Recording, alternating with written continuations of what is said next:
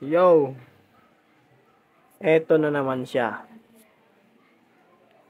Naglabas na naman siya ng bagong video. Ito, panoorin natin. Nakagising ko lang. Na, panoorin natin nung kaartehan niya. Go. Ito, meron pala dito. May nag-challenge na pala sa kanya. Ito, basahin natin. Bagay sa tag-ulan. Challenge kita ng noodles, lagyan mo ng itlog, tapos daing saw-saw mo sa suka. Puta, napakasarap niyan. Napakasarap. Tito Mars.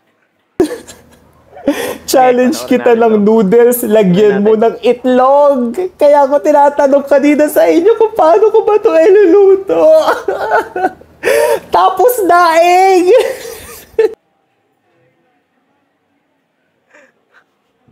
Paano niya raw to iluluto?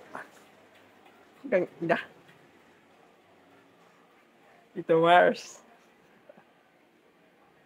Okay, tuloy natin. Daing ate, parang tuyo yun, di ba?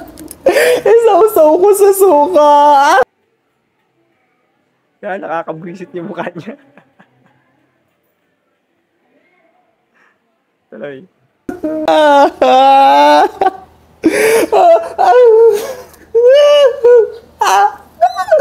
Oh my gosh!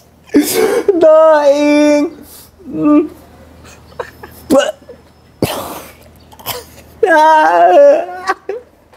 Tawa to si Tito Mars.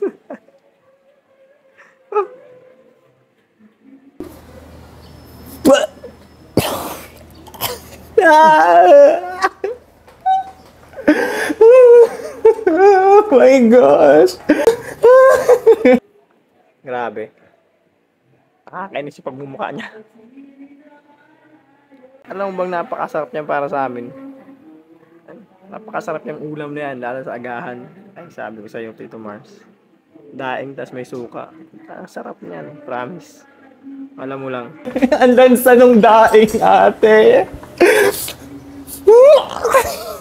Ah, lansa! Baka katingin ako.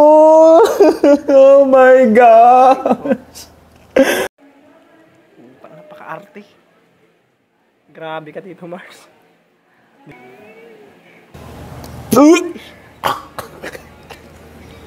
Bakit ganun yung amoy?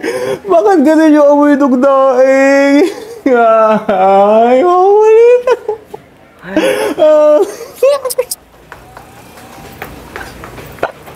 oh, sige.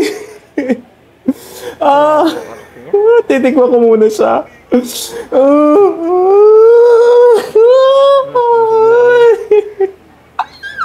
Model. Ah! Ah, masarap daw pag sinawsaw sa suka. Okay. Ah! Ah!